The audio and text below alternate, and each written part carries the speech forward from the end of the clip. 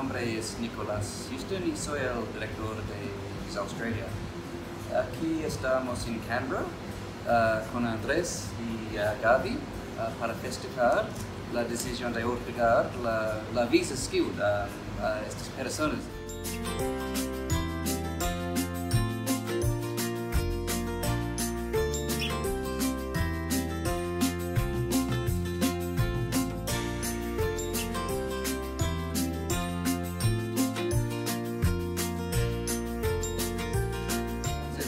Andrés, felicidades. Gracias. Y Gaby, felici- felicidades por esta decisión. Muy felices. Y um, entonces, ¿de dónde están ustedes? ¿De, de, de dónde son ustedes? Somos de Guatemala, Guatemala. la ciudad de Guatemala.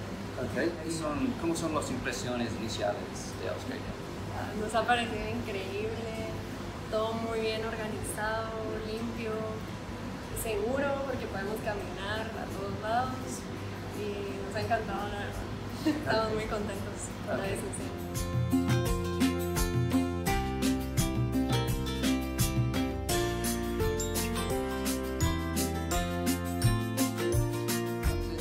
Tienen esta visa 190, su clase 190, es una visa permanente y pueden vivir en ah, este esta estado de New South Wales, Exactamente.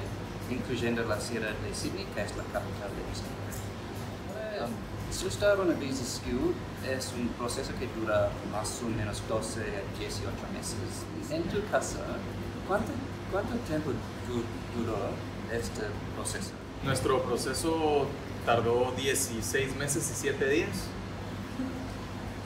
De primero aplicamos a... Bueno, después de haber solicitado la cita con ustedes para que nos explicaran el proceso, empezamos el proceso de acreditar mi carrera con el colegio de profesionales llamado BETASES. Okay. Eso duró poco más de tres meses. De ahí tomamos el examen de inglés, el TOEFL. Yo ya lo había tomado dos veces antes eh, por mi escuela americana. De hecho, son cuatro exámenes de inglés que pueden hacer. Este IELTS, el viejo y famoso IELTS, este TOEFL versión Internet, que es un académico Cambridge Advanced. Andrés, eh, eres un ingeniero civil, pero no fue tu ocupación para la visa, de hecho. Entonces, solicitaste la visa como Construction Project Manager, que es como se llama en español. Realmente, eh,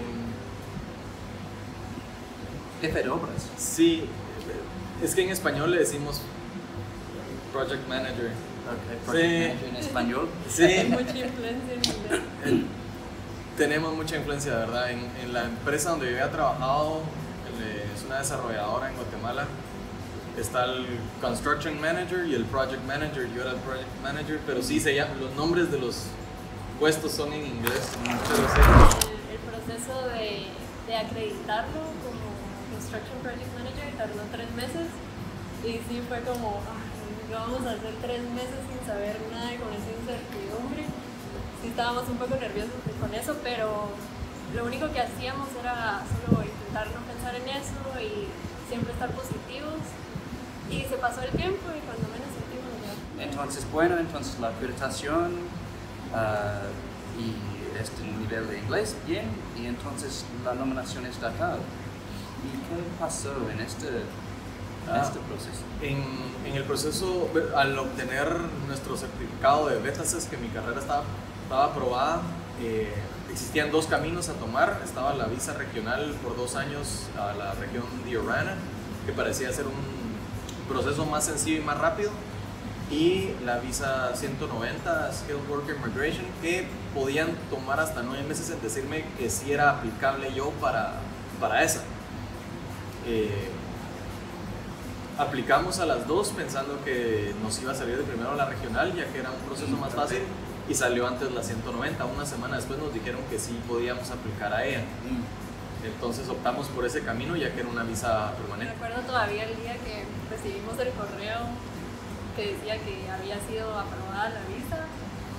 Eh, justo ese día en la mañana habíamos conocido a un australiano ahí en Guatemala y le platicamos de que, de que nosotros estábamos a la espera de la visa y nos dijo, ay, qué buenísimo.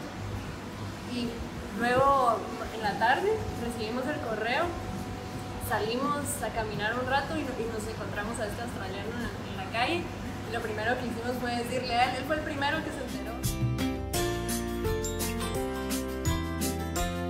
Ya, ya sacamos, ya fuimos a la oficina de Medicare, ya tramitamos nuestro Medicare. Ok. Fue Ya muy arrancamos, fácil. sí, fue muy fácil. Ya arrancamos nuestro proceso del tax file number. Fuimos a abrir nuestras cuentas de banco,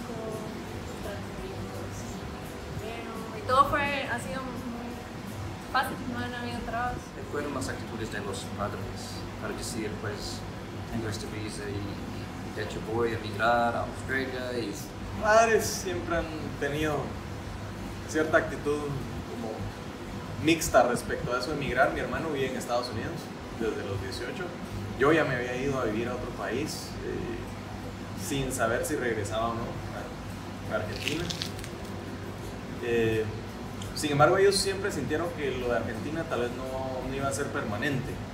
Sin embargo, cuando les conté lo de Australia, parecía ser que sí sentían eso y que sentían como que era muy lejos y que era- tenían sentimientos mezclados, encontrados, digamos. Ellos estaban muy felices con la noticia porque ellos saben que es lo que queríamos, por lo que hemos, por lo que habíamos estado peleando y luchando todo este tiempo, trabajando por, por ello.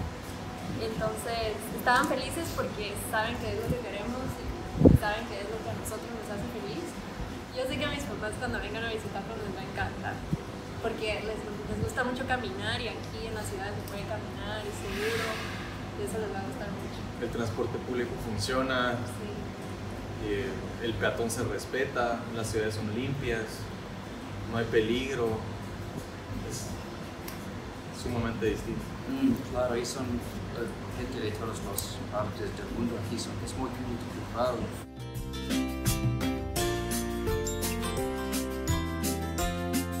¿Ya tienen Sí. amigos de tu país? Sí, ya fuimos a conocer a otro chapín a la Central Coast, nos enseñó cómo era su vida. Tiene, él está casado con una australiana, tiene un hijo y ella va a tener otro hijo ahora en diciembre. Y nos enseñó cómo es su vida, nos contó su experiencia. Entonces nos sirvió bastante Mm. irlo a visitar y estamos aquí para apoyarnos todos, ¿verdad? Así que si vienen otros chapines a Australia ya saben que Los centroamericanos en general, Sí. todos somos todos somos hermanos. Van a investigar si pueden comprar los, las comida básica para preparar la comida de América Central, por ejemplo, este maíz y los frijoles, las salsas. Sí, aún no hemos buscado bien el maíz, pero sí, por lo que hemos visto, sí hay mucha variedad y está todo lo que hay. Todo lo que hemos comido en todos los lugares donde hemos comido estaba súper bien, realmente. Ay, se come muy bien en Australia. Aquí estamos muy felices Sí. um, en Canberra y um, uh, suerte por todo lo que Muchas va a gracias. venir por la vida australiana en el futuro y um, es- esperamos que todo sigue bien con la experiencia australiana. También les queremos agradecer mucho a ustedes porque nos ayudaron mucho, siempre estaban pendientes, nos explicaron todo muy bien, cuando teníamos dudas nos respondían y nos sentimos muy apoyados por ustedes. Gracias. y eso siempre sentimos una gran confianza en ustedes también, que es algo muy importante.